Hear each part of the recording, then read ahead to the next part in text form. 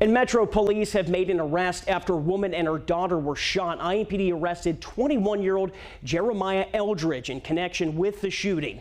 It happened just after midnight near 21st in Arlington. Police say they initially responded to a call about a woman screaming for help.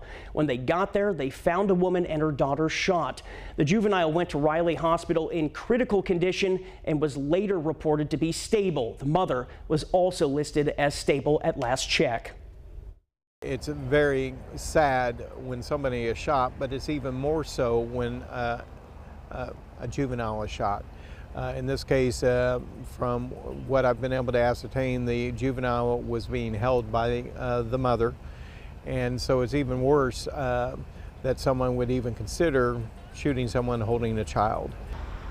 And again, police say they arrested the man they believe was responsible and are calling the shooting a domestic incident. The investigation, of course, is still ongoing.